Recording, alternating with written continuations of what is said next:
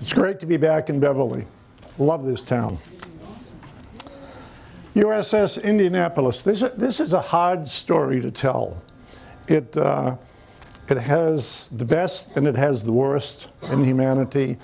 It's uh, a, a series of things that went wrong, but you know, it's great history and it, it's, it warrants being told periodically so that we don't forget the sacrifices that these men put forth. She was launched November the 7th, 1931 from the New York Shipbuilding Corporation in Camden, commissioned in 1932 at the Philadelphia Navy Yard, $11 million. Navy gets a ship 610 feet long with a 66 foot beam, displacement of 11,180 tons. She has a primary armament of nine 8 inch guns uh, mounted in three turrets. And the, the range of these guns, uh, 8 inch guns, was about uh, 18 miles.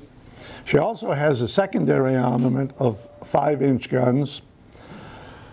The ship would carry five scout planes and they would be launched from catapults. These planes, this, this was uh, definitely before radar had come to uh, fruition.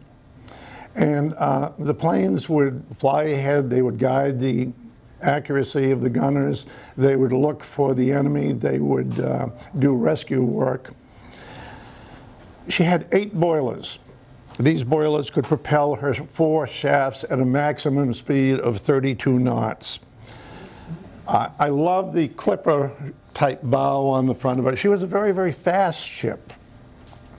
When she was commissioned, 1932, when the Navy formally took over, her crew was 906 men and 46 officers. She was also designed to serve, she had extra capacity to carry uh, admirals. She could be a flagship of a fleet. And uh, she had better accommodations than her sister ship, the Portland. Uh, with these accommodations, it kind of qualified her to serve as President Roosevelt's favorite ship. Here's a picture of him. he would take her on uh, cruises to the, uh, on, you know, showing the flag on goodwill tours to South America and uh, several other voyages. Her peacetime years, spent mostly in the Atlantic and the Pacific, showing the flag, showing America's naval might. But from the beginning of the war, she would find herself in the, in the Pacific. And the Indianapolis would take place in just about every major campaign in the Pacific. She'd see combat in the Aleutians, the Gilberts, the Marshalls, the Marianas, Saipan, Iwo Jima, and Okinawa. Now, through all of these ships, she would serve, she would be a lucky ship. She had no casualties whatsoever. That changed in March 1945. On the 31st of March, a bomb from a Japanese plane would hit aft. It would go down three decks before it exploded, and it would cause severe damage. It would uh, kill nine men. It would damage the two starboard uh, shafts. Basically, this took her out of combat for uh, a, a, period of months. She went back to the Mare Island shipyard in California. May 5th, she was there, and she was probably going to be there through July. Uh, during the during this uh, refit, here's another picture of her at peacetime. Here are the, the, main, the main guns. Here are the catapults and the cranes which would retrieve the planes. Launching these planes, they were shot right off the catapult. And when it was time to retrieve them, they would simply fly along, uh, they'd, they'd float along the side of the ship, and the ship would lower a big sling, and they'd pick her up on the sling and remount her on the catapults. It wasn't high technology, but it worked. This is a picture of her taken during uh, one of her refits. Uh, here are the, the main armament. These areas, I don't know if you really can't see them uh, too well, but there's like a, this is highlighted. There are circles highlighting here, and what they do is they reflect the changes to the ship during the refit. And she would, uh, the modifications, she'd get additional anti-aircraft guns. She'd get updates to her fire control systems, updates to communication systems. The one thing the Navy, American as well as British and other uh, navies learned was that you need anti-aircraft protection. That's, is that, got to get rid of that hum. Okay, maybe if I stand this way. You need anti-aircraft protection because surface ships going against aircraft uh, was not a good situation. During the first six months of the war, the Japanese were able to really effectively neutralize a lot of American ships and British ships.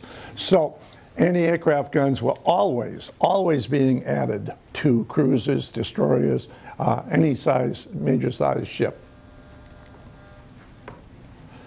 Here's the Indianapolis. Uh, here are the life rafts. Life rafts were everywhere. They're on this turret, they're on this turret, they're over here.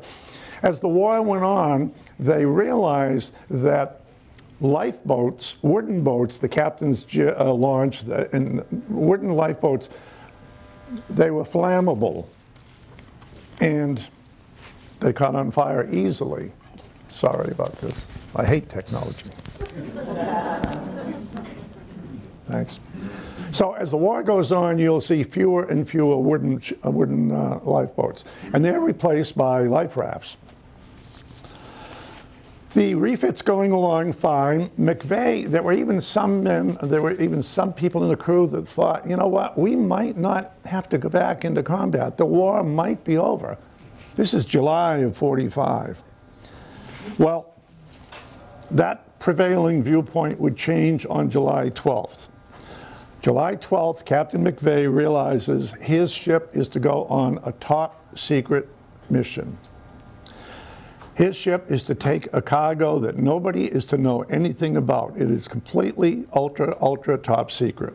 It's to be guarded 24 hours a day. Nobody is to be authorized near it. And if the ship does sink, this cargo is to have top priority in the rescue. There would be two Army officers accompanying this ship. As we all know, the cargo was the atomic bomb. The thing that McVay was told was, get this thing safely to Tinian Island. The sooner you get there, the sooner the war might end.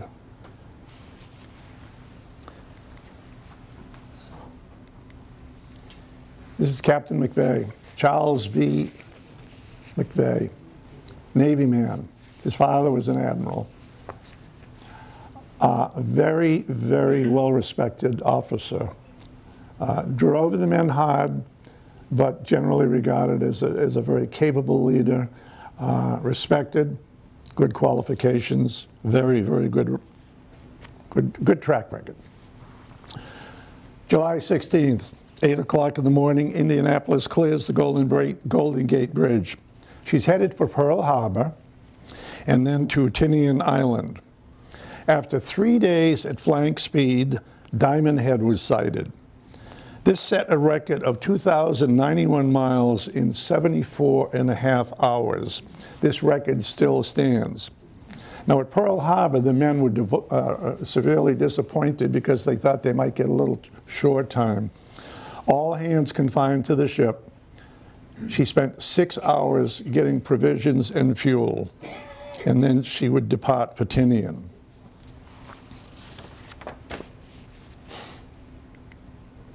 One more picture of her in combat. These are some of her officers.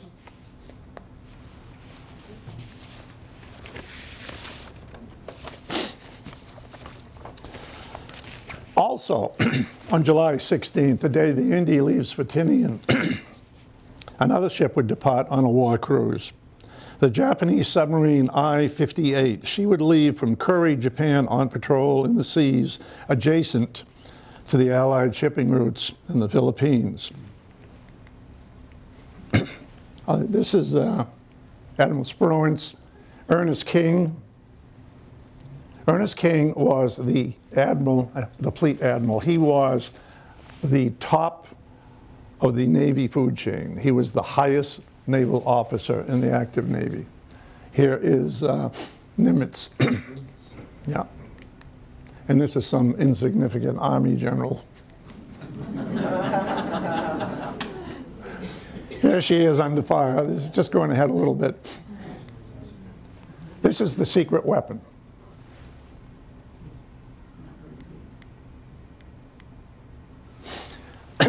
this map is not the best, but I want to show you a little bit of the geography. Here is Tinian, here is Saipan, Guam is down here, and this, that's over in, in the Mariana Islands here. Over here are the Philippines. This is the Japanese uh, command structure. But I just want to show you. So you, basically, we're going to be talking from Guam to the Philippines. I-58. This is the I-58. She's a Japanese submarine.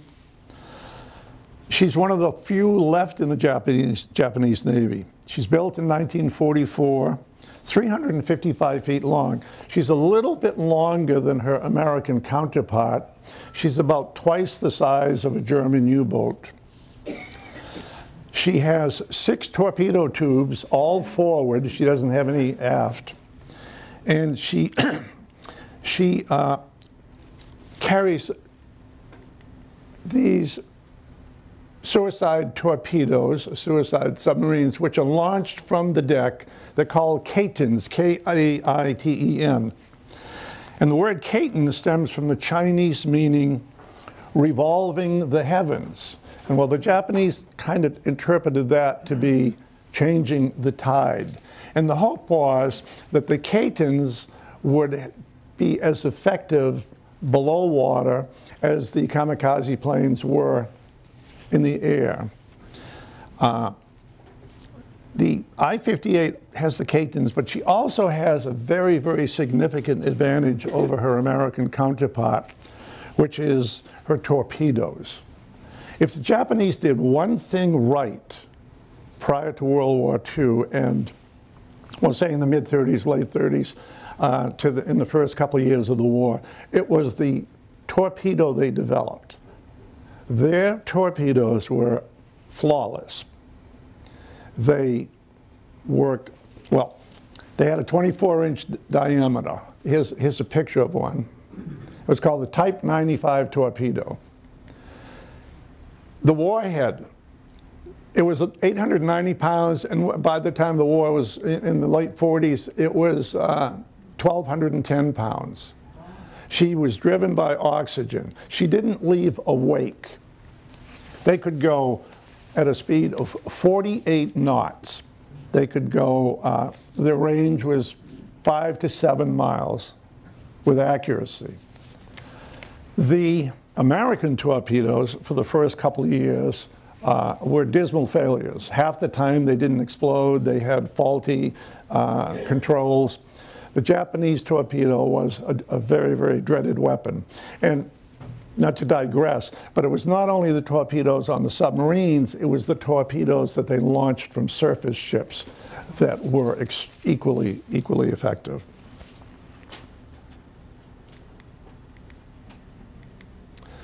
This is Lieutenant Commander Machuro, Mach, Mach, Hashimoto. He's a career officer, trains the crew constantly, well respected by the men. 1944, 1945, Japan's glory days at war are over. Things are definitely uh, not going well for the Japanese. He is extremely frustrated. He's, he's been in the Navy, hasn't really had a chance to make an impact, hasn't really brought any glory to the emperor.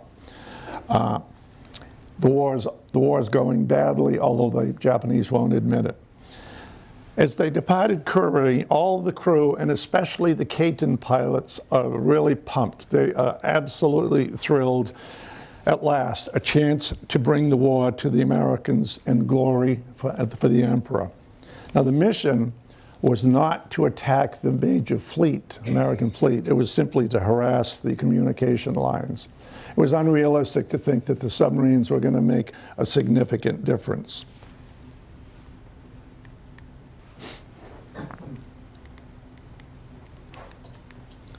Now, timetable here. July 23rd, the Indianapolis is still en route to Tinian. She get, uh, there is a top secret ultra message, and it's sent to 11 different Pacific commands. Now, top secret ultra was the highest priority in a secret or a confidential message.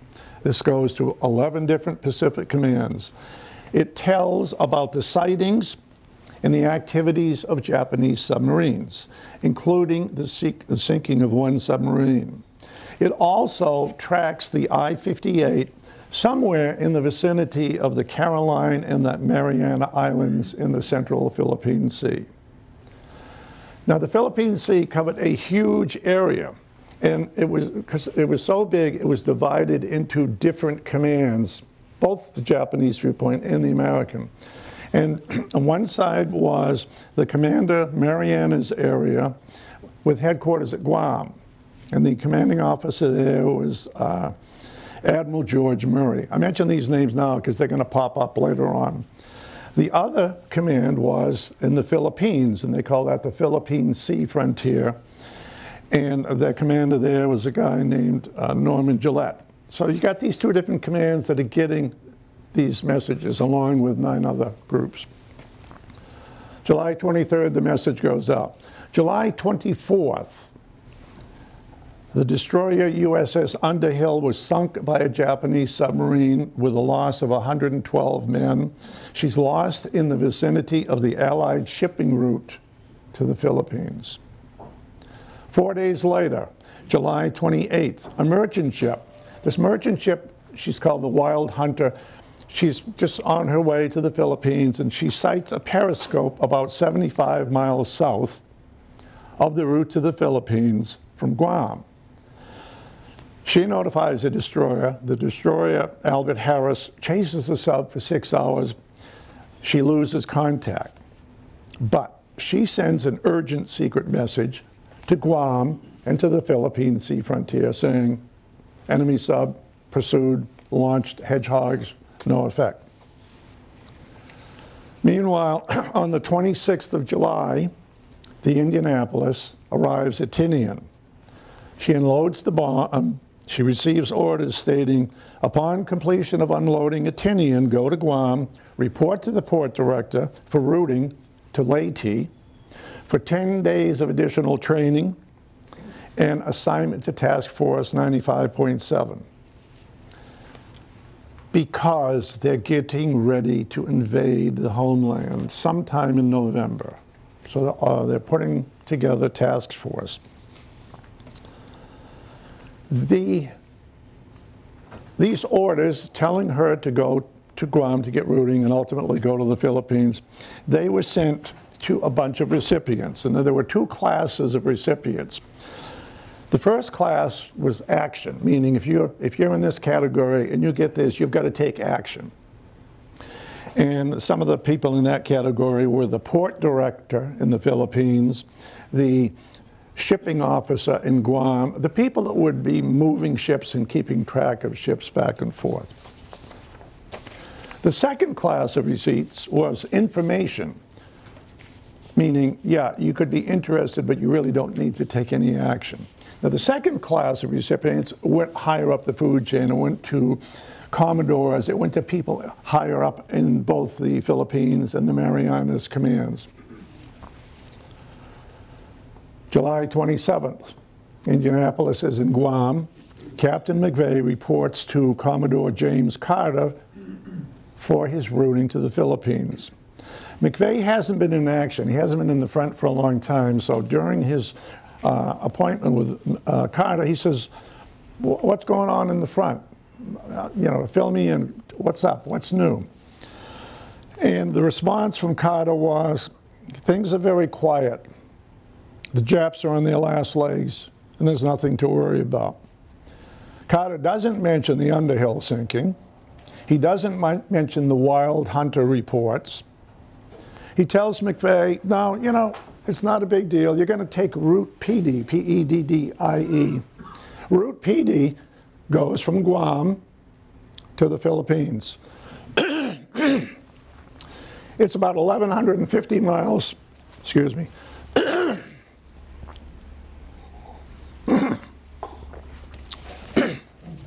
It's almost a straight shot from Guam to the Philippines. Now you look around here, this is the highway. Here's the wild hunter situation. Here's a surface sub, spot, uh, sub spotted. Oh, here's another sub contact over here. There's a lot of stuff going around right here. This is all before she, the Indianapolis hits. So McVay says, well, can I have an escort? And Carter says, no, not really, because there, there aren't any destroyers or destroyer escorts available. Because the Okinawa campaign, which is where the kamikaze threat really mushroomed, there were 96 American ships either sunk or taken out of action because of the kamikazes. So McVay's said, well, are you, are you, sure? And he says, yeah, there aren't any. He's, but Carter says, you're going to be okay. So Carter says, here's the deal. You're going to go. Your speed is going to be 15.7 knots, and that'll bring you to the Philippines at 8 o'clock in the morning on July the 31st. The 15.7 knots was arrived at by the policy the Navy had that if you're not in danger and if you're not in a, a combat zone, try to cruise no, no faster than 16 knots because that's going to conserve fuel. It will save fuel. So there was some justification for that in that, well, there was nothing going on, there were no submarine reports. And McVay said, all right, is there anything else? And Carter says, no, that's about it. So now, his orders state that at July 30th, he will cross from the Marianas control area to the Philippines Sea. And this is, it's called the chop line. When, the, when she crosses this line, Philippines pick her up, Guam drops her. The chop line. It's going from one command zone to another. At 9 o'clock in the morning, July 28th, she weighs anchor and she heads for Guam. At the same time, a message is sent from Guam to the Philippines stating her ETA and her arrival. 9 o'clock, July 28th, she leaves Guam, 15.7 knots. 12 o'clock, she's sighted by a, an LST, an American landing ship, headed east. This would be the last friendly vessel to sight the Indianapolis. 6 p.m. The seas are turning choppy and rough. Visibility's fair. Officer of the deck was Lieutenant J.G. Charles McKissick. He reads the message, the Wild Hunter message, describing the submarine sighting and the submarine escape. And there was also a projection that that submarine 70, would be 75 miles south of the Indianapolis the next day on, that, on her route. In, in the officer's wardroom, McKissick actually jokes and he says, well, yeah, there's supposedly a Japanese sub out there, words to this effect. And the reply was, oh, well, our destroyers will take care of that. And they were kind of chuckling. Now, Captain McVay did not hear this part. And uh, he would have been chagrined because he was a disciplinarian in that you don't joke about things like that. But this was in the wardroom and the captain wasn't there. Still July 29th, 8 o'clock, rough seas, long swells, low, heavy clouds, occasional glimpses of a pale moon. McVay issues the order to cease zigzagging. Below decks on the Indianapolis, temperature is above 95 degrees. Engine room temperature, 120 degrees. No air conditioning. These ships were steamers in the tropics. Because of such, a lot of hatchways and door, doorways would be left open just to capture any kind of breeze they could. topside, they estimate there are at least 300 men topside with blankets trying to sleep to avoid the heat below decks. It was, it was okay. Uh, you wouldn't allow that if there was combat situation, but it was, it was okay. The, the watertight condition was called condition yoke, which is it is not, the ship is not buttoned down, watertight integrity. It's, it's a lot of doors are open, as I said, to allow air. There were at least 22 men topside on lookout duty. But the weather was, was uh, tough, poor visibility. 11 p.m., McVay retires to his cabin leaves orders for the officer of the deck to wake him if there are any changes in the weather or sea conditions. On board the I-58, Lieutenant Commander Hashimoto raises periscope. He's looking for a target. He sees none. He surfaces for a better view. Suddenly a ship is spotted some six miles distant. He dives at once. He's not sure what she is. He knows she's American. He's puzzled that she's traveling alone. He plots her at uh, speed at 12 knots, and she's at 1,500 meters. He orders six torpedoes ready. He sets the depth at 13 feet. At a little after midnight, 27 minutes after sighting the Indianapolis, the command of fire releases six torpedoes. It takes less than one minute for the first torpedo to hit the target. At 12.05, she hits forward on the starboard side just below the 20 millimeter anti-aircraft guns, and she blows 65 feet of the bow skyward. First torpedo hits right here. 65 feet of the, this bow is, is blown askance. There's now open water rushing in here.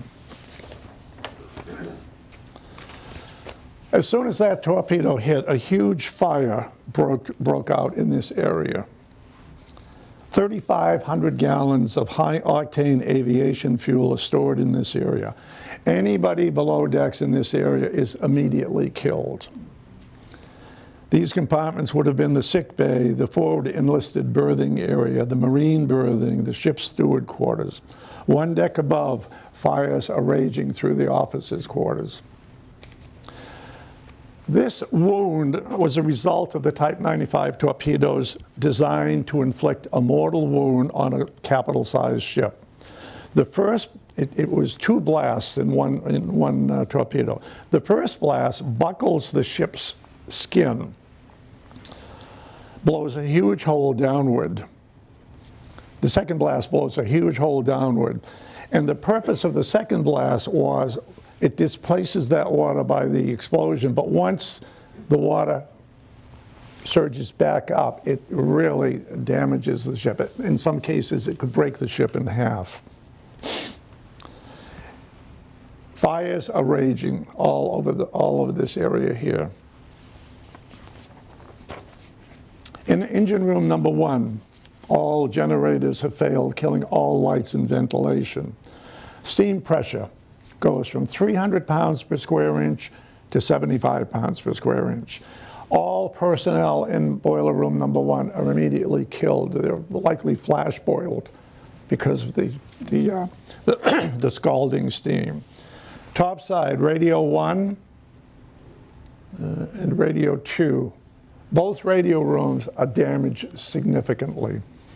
Fires are raging throughout the ship. Wounded men below decks are trapped by flooding or toxic smoke. At first, McVay thinks the ship can, she can stabilize, she'll be okay. A couple minutes later, he realizes no. Men are dispatched to Radio 2. They finally get off an SOS, but they're not sure how much of the message gets off because of the damage. And it does not contain the ship's location. There's a bunch of things going wrong. McVay orders the men to abandon ship. Word races through to the men aft and elsewhere. Men are loosening floater rafts, life rafts, and they're donning life jackets. All the while, the ship is listing to the, the has a list increasing to starboard. Engineering officer says, uh, I know, let's jettison the fuel to minimize the list. And that turns out to be a mistake because all of that fuel is going to rest on top of the water.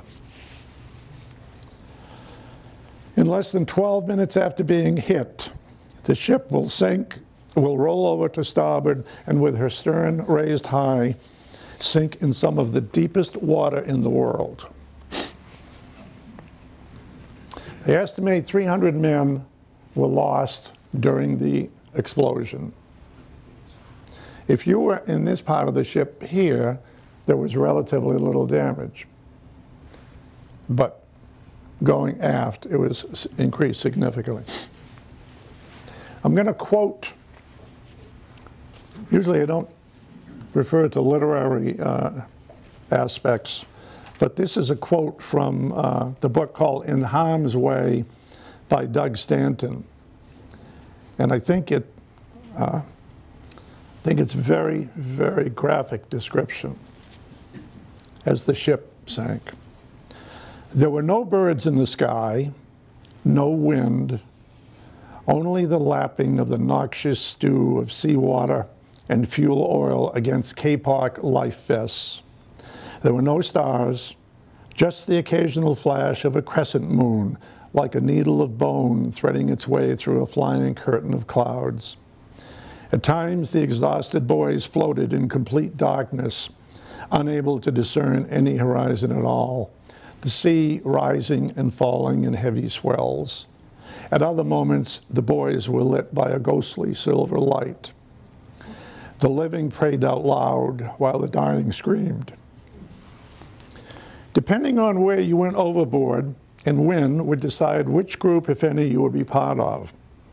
As the ship was still slowly moving forward, men were abandoning over a period of about 10 minutes. Those in the water were in life rafts, floater nets, Kapok life preservers, or in many cases with nothing at all. It was a blessing in disguise that due to a requisitioning error, there would be more than 2,500 life jackets on board, more than double the amount needed. Groups in the water would form, some as large as 400 men, mostly swimmers.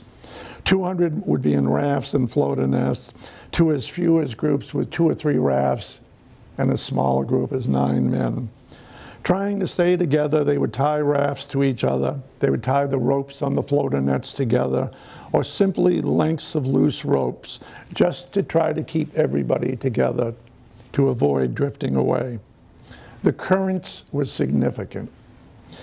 By the time of rescue, some five days later, some groups, such as Captain McVay's group, would have drifted as much as 124 miles during the time in the water. The survivors would face numerous life-threatening challenges, all of which would become more and more lethal. Initially, there was a shred of hope that they must know we're missing. It won't be too long now. Sooner or later, these idiots are going to spot us. They'd see planes flying overhead. As the days wore on, hope of rescue diminished sharply. Hope was replaced by dehydration, exposure, hypothermia, dementia, a complete breakdown of rank and discipline, and a primal enemy, sharks.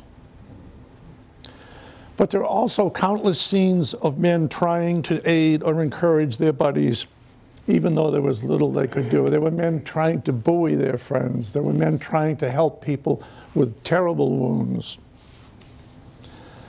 Late Monday, the 30th, sharks began to appear. The sharks were oceanic white tips, a common ship type following, a common ship following type, and considered very dangerous.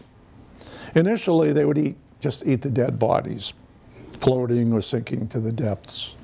As time passed, they started to follow groups and attack men either swimming or clinging to the floater nets.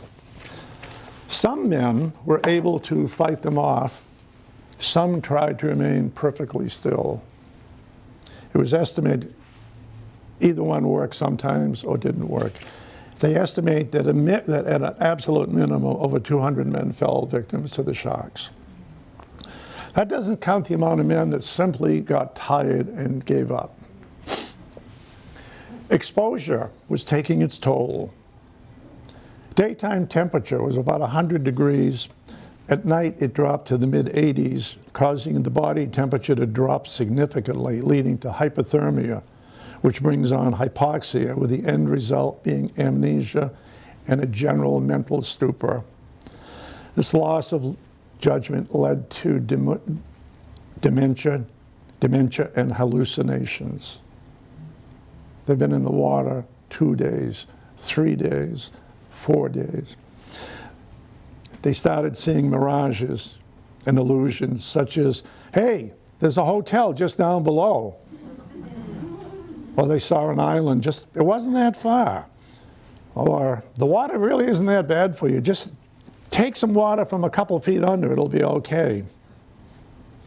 Or I'm getting in the car, I'm going home. They were, they were suffering. There, there were darker images which unleashed a horrible threat to the men. Men with knives began to attack other men, claiming they were Japs, so they were trying to kill me. Stark, raving men would kill men they had been buddies with three days ago. They were pushing wounded men off the rafts or cutting the lifelines to the group. In these cases, total breakdown of rank and discipline. This, I think, is an amazing part of the story.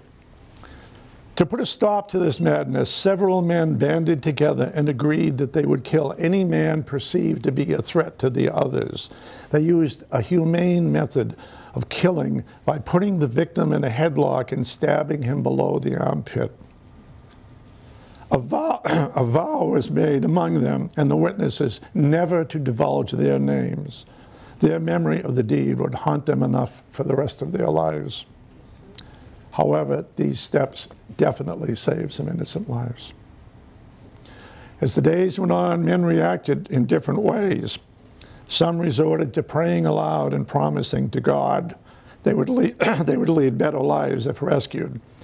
Others focused on memories of childhood on the farm, or home cooked pies, or sweethearts that were waiting for them. After all, the war was just about over. Another way to cope was to try and encourage your buddy and keep him from giving up. This worked in some cases, not in others. I want to show this painting because I think this, while it's a completely different time period, reflects the agony and the despair this is a painting by a French painter, uh, either Delacroix or Géricault, on a merchant ship, and you just see the, you know, there's hope, but there's no hope. Over here, they've given up uh, the anguish. These are the Kapok life jackets, 2,500 of them. There are about a little over 1,100 men on the ship, so that was a blessing in disguise. These are the life rafts. They got a lot of life rafts off, but forward they were harder to get off because of the damage in the fires. They had minimal supplies. These are water kegs. Here's a close-up. So they had a, a, slat bottom, ropes that people could hang to on the outside. Again, another So, here's the question. How do they find them? How do they rescue them? On the island of Peleliu, they had regular American reconnaissance flights covering this area. They would fly over Japanese islands that were bypassed on the road to Tokyo. And the purpose was make sure they don't evacuate these islands, uh, make sure they're not resupplied. And also, if you see any downed American flyers, you can rescue them. Uh, they didn't have lookouts on these planes. Everything was radar and everything was, was uh, communication. So nobody's looking down at the bottom for anything. This fellow is the pilot of a Ventura plane. These are the kind of planes that would make these reconnaissance flights. August the 6th, a PV-6 piloted by Lieutenant Junior Grade Wilbur Gwinn, Glenn, Gwinn, he's flying at an altitude of 10,000 feet. He's having trouble with his antenna. The antenna they used, because of the huge distance, the plane would allow a cable to run out following the plane, and at the end of the cable was this antenna that would, in effect, give them extra capacity for over great distances. Problem was the antenna kept flip-flopping or coming loose from the cable. So Gwinn is flying this plane and they're having trouble, so they have to repair it. And what they do is they're at 10,000 feet, they drop down to 5,000 feet for better visibility. They got the uh, bomb bay doors and the, some of the doors open and they're grappling and trying to get the cable into the plane and it's flip-flopping and one of the guys is looking down and all of a sudden he sees something on the water that looks, it, looks strange. He doesn't know what it is. He, he says, what? let's go down and take a look. And they, he, they realize it's an oil slick. And they go, well, I wonder what that's from. And they're thinking, well, maybe it was a Jap submarine that was sunk. So they drop down to a 1,000 feet and they see a head, looks like somebody in the water, and then they see another one. They drop down to 200 feet and they see five, and then 30, and then it looks like there's 50 men in the water. And they immediately send a message. Oh, the pilot wags his wings so that so they know he's been seen. They drop what few supplies they have, rescue supplies they have, and they drop it. but the men know that he's been seen. He sends the message at 11:25 in the morning. He sends a second message later on saying there's 150 men in the water. Back on Peleliu, Lieutenant Adrian Marks fills his plane up with fuel, loads it full of rescue supplies. Now he has a PBY. This is Marks. I mean, these guys look so cool. It's like, you know, I would like to be that cool. You know? that was a I'm not sure that, I'm, I do not know who that is. Anyway, here's, here's his plane, full of supplies. He is now headed to the rescue site. The first reaction, now these messages are now getting picked up by different commands too. The first reaction were skeptical. Nobody wants to believe the scope of this disaster. Quick, quickly, reality dictates a massive response Ships and planes are now being diverted to the scene with high priority. One of the first ships to uh, head there is a destroyer, the Cecil J. Doyle. Her commander is Lieutenant Commander Graham Claytor, who was a friend of this guy, the pilot. Claytor, the captain of the ship, doesn't even wait for orders. He says, let's go. Cranks, up, cranks her up to 22 knots, which was the top speed. An hour and a half later, he gets orders to head to the rescue. But that kind of quick, independent thinking is going to make a difference. It's going to help people. They estimate the oil slick to be 10 miles long, 5 miles wide. That they can see, from the initial plane, they can see there's at least 150 men in it. At 12.30, another destroyer, the, the Dufilho, is headed to join the rescue. She heads out at 22 knots, but she slows to 18 knots to preserve fuel because she knows she's going to be in the area a long time. Two hours later, another destroyer, the Bassett, and then the Ringness and the Register, and then three, mid, three more destroyers. They're all headed to the sinking area. Late in the afternoon, there's seven ships en route, numerous planes, the PBY, piloted by Marks, he decides to land. Very, very risky decision. 12 foot swells, the wind is at 8 knots. He says, We're going in. Brings his plane down. On the first bounce, she bounces 15 feet. On the second bounce, a little less. On the third bounce, she basically settles. A lot of the rivets are popped. There's water trickling in. But he's, he figures we've got time. They are cruising among the men in the water very, very slowly. She picks men up. The first guys he picks up are men swimming alone or just with life jackets. He bypasses the men in the rafts and the floater nets. The guys in the rafts and the floater nets go nuts. They think they're not going to be rescued. They're swearing at them, they're, they're everything. But they know that there are planes, and help is on the way. Another PBY will land, but he can only pick up one guy. The first PBY picks up 51 men from the water. They are tied to the wings with parachute cord. They are everywhere. They are filthy. Some of them are delirious.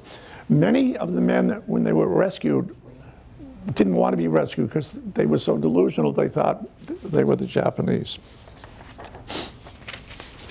The Doyle, the first ship that's going to race to the scene, she's racing at top speed. Her chief engineer pleads with the captain, slow down, we're going to blow the engines. Captain's response, if they blow, they blow. We've got men in the water. As the Doyle arrives on the scene, she does another unconventional thing. A, ship, a combat ship at night in an area, a supposed sinking area, he says, turn the searchlight on, point it straight up. Because these men are in a huge area. Well, that's, that lets them know there's help out there. There was another situation of uh, throwing caution aside, and that was on the Bassett. One of the men, and the Bassett's at the scene, one of the men sights a shark. And he says, Look at that fish. Fish also was, to some Navy people, slang for torpedo. I never heard that, but it's in the book. The captain of the Bassett, who was not terribly nice nor well respected, says, Out of here. Get all the boats in. We're getting the hell out of here. This is a combat area. And two of the junior officers on the bridge they grab him and they said, no, sir. And they bring him to his quarters. And they stayed. The Bassett rescued more men than any other ship. As they're pulling the men in, some of the men are so weak they can't get in. And they need help getting on board. I'll just show you the. This is a picture of the PBY. Here's a raft. I mean, the seas are significant. This is, you've got a raft with one, two, three, four, five men in it, and one, two, three, four. You have two men over here, and this is a shark. They estimate one man was being killed every minute during the rescue by the sharks. Here's the Doyle destroyer rescue. So their searchlight would be pointing straight up. Here's the, uh, the bat. Uh, now this is one of the others. It's uh, the Ringness.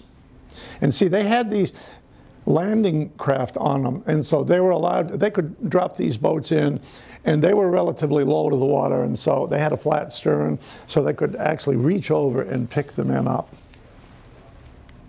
Another one of the rescue ships. These weren't large ships. Here's the Bassett. Her captain, uh, if you, a couple of the books don't give him high grades.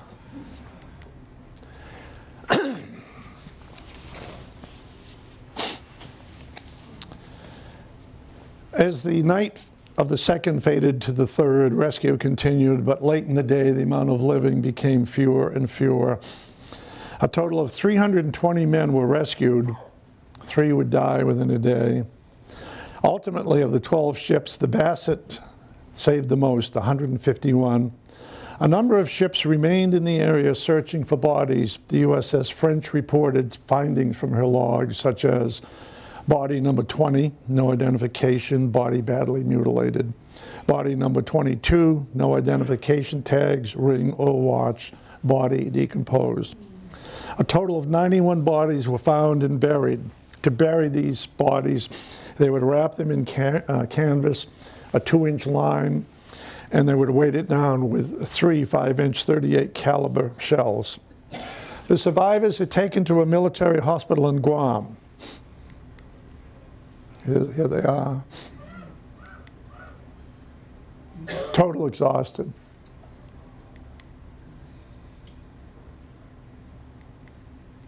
This is after, this is uh, probably two weeks after they're all together and they're being transported back to the United States. They were under strict orders not to divulge anything. They could say, we're alive and we're in good health, but they could not mention anything about the loss. The Navy, the Navy would put an extreme clampdown on all items in news releases. A total of August 13th, telegrams were sent to the families of missing men. A total of 878 families received word of a loved one missing. The telegram went, I deeply regret to inform you that so-and-so is missing in action. The telegram goes on and closes with, to, to prevent possible aid to our enemies, do not divulge the name of his ship or station.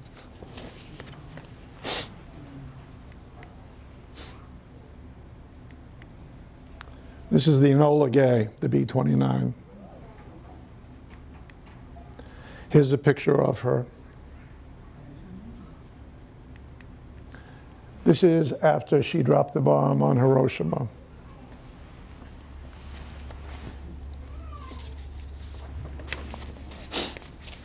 August the 6th, up to 140,000 people dead.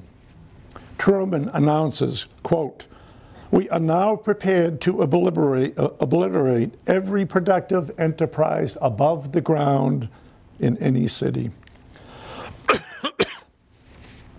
August 8th, Russia declares war on Japan. Japan meets, still decides to do nothing. August 9th, this is the second atomic bomb. She's dropped in Nagasaki. 45 to 70,000 people are killed. August 10th through the 14th, surrender dis discussions with the emperor but it wasn't until the 15th of August that the emperor decides to surrender. Little hometown newspaper here, my hometown, the Lewiston Daily Sun, August 15th, war is over. Over here, Indianapolis sunk. The Navy Department specifically withheld news of the sinking until they had good news.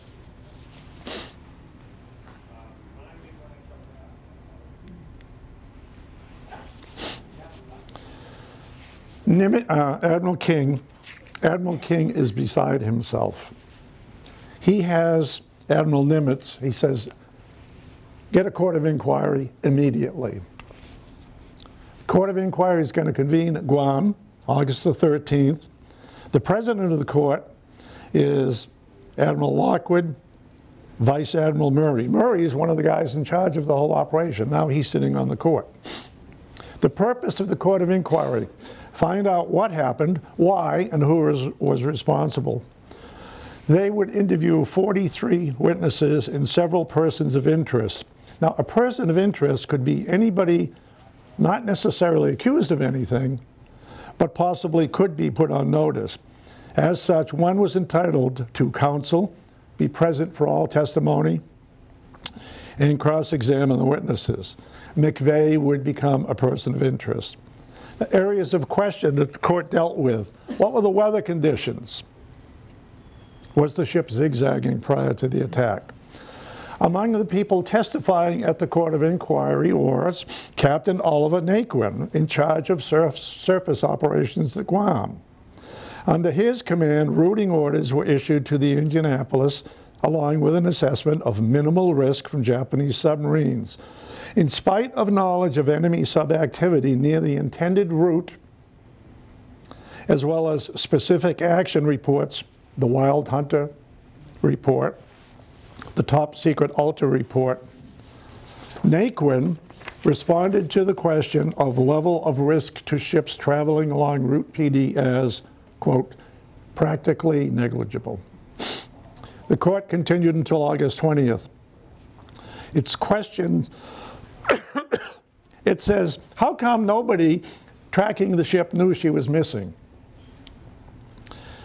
It found fault with the lack of action taken by a number of officers who responded with answers such as, I, I knew she was overdue, but since she was reporting to another command, I didn't do anything. Or, we assumed she arrived, but we didn't check because of policy number 10 CL45. Policy number 10 CL45 says you don't need to report arrival of combatant ships. Merchant ships, yes, but not combatant ships. Hence, you don't need to uh, report non-arrivals. That was the kind of thinking, and kind of some flawed logic there. The guy that came up with this policy was also the guy that told McVay nothing to worry about, the Japs are on their last, last leg. August 20th, at the conclusion of the court, the conclusion was numerous failures by shore commanders to take proper preventive actions. But the main reason for the delay in learning of the sinking was attributed to the failure or inability of the ship to send a distress message. It also found fail McVay's failure to zigzag was a contributory factor to the loss of the ship. It recommended to Admiral Nimitz that McVay be tried by a general court-martial for culpable inefficiency in the performance of his duty and negligently endangering the lives of others. The reaction of Ernest King upon hearing this recommendation was of furor and displeasure. He felt the court did not probe deep enough he felt there should have been far more witnesses. He questioned why the route was chosen, why no escorts available, who the hell made these decisions. But King was also convinced that there were problems with the manner that the Indianapolis operated. Discipline, organization, training, and leadership must have been at fault. King has also got a public relations problem. He's concerned with the Underhill and the Indianapolis sinkings, two ships lost within a with almost, well, a thousand men in the last weeks of the war. The public is screaming for an answer. How the heck can this happen? On the 25th of September, he writes to the Secretary of the Navy, James Forrestal, ordering him to launch an investigation into the routing instructions and to have Captain McVay tried by a general court martial. Admiral King Nimitz. This is James Forrestal, Secretary of the Navy. Before McVay's court-martial starts, a supplemental investigation took place to address some of King's demands for answers.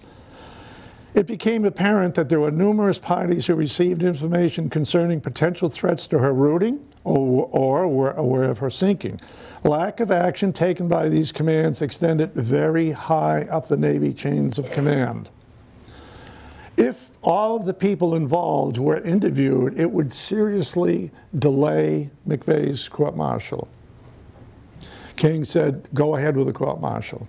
On the 29th, don't wait for the further investigations. On the 29th of November, Murray, uh, McVay is arrested, charges are filed against him. The court martial starts on December the 3rd. It gave the defense four days to prepare.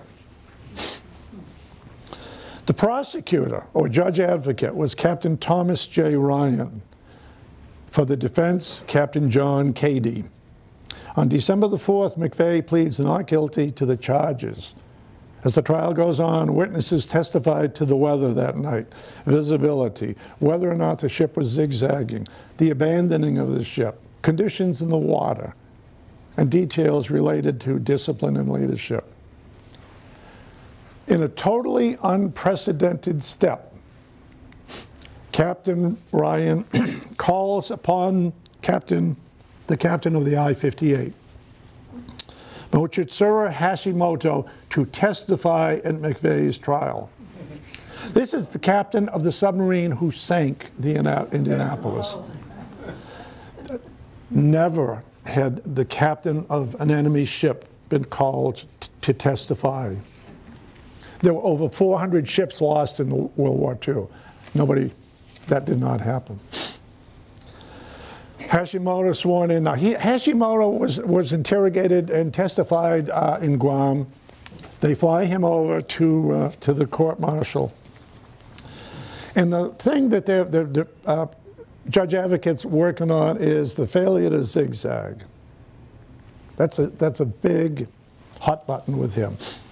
And he's trying to get Hashimoto to say, yeah, if, if the ship was zigzagging, it would have been much, much hotter, or I couldn't have hit her. And in earlier testimony, Hashimoto said, you know what, it really wouldn't make that much difference. It would make no difference at all. I was going to hit her. She was, it was guaranteed I could hit her. And he testified to that effect in Japanese at an earlier trial uh, in Guam. But at this trial, he his, his, testify, his statement is not interpreted as clearly and as precisely as he meant it to be. And he does kind of say, yeah, well, well, it's interpreted to say, yeah, I guess it would have been harder for me to hit him if he was zigzagging. So the judge advocate makes his point. He goes to another person. He goes to an American submarine captain. This guy's name is Captain Donaho, highly decorated guy. And Donaho initially said, yeah, zigzagging is not the problem here. It's not going to make any difference. And Katie, uh, Ryan keeps him on the stand, and you know there was an adage that never interrupt somebody when, while they're making mistakes, a lawyer technique. And so he ultimately says, yes, because, oh, so the question is, well, yes or no, would it make a difference if he was uh, zigzagging?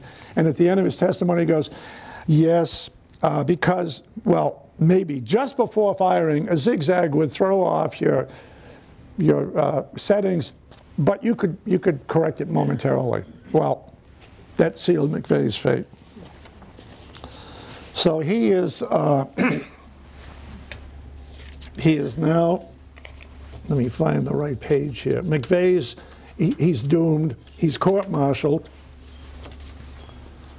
He would retire from the Navy in 1949. Uh, he would suffer severe bouts of depression. He would receive letters from family members who lost kin on the Indianapolis, particularly around Christmas time.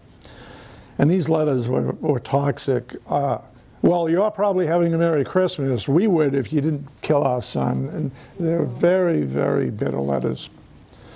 He uh, ultimately took his own life in November of 1968. Additional letters of reprimand took place to the four junior officers for failure to act accordingly, but they were withdrawn from their records. The reaction of the Indianapolis Survivors Association was overwhelmingly and consistently in support of McVay.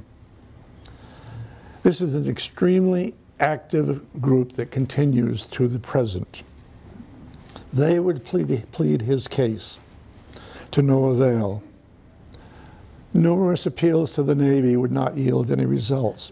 There was a high school kid who took this topic for a history project, he tried to do what he could to get it overturned.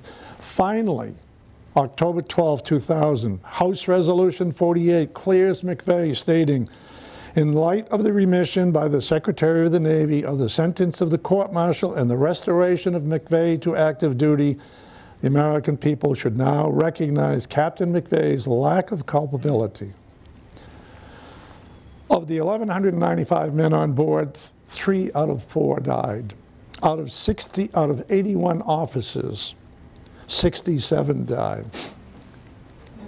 Here he is at his court martial. Here is the Indianapolis today.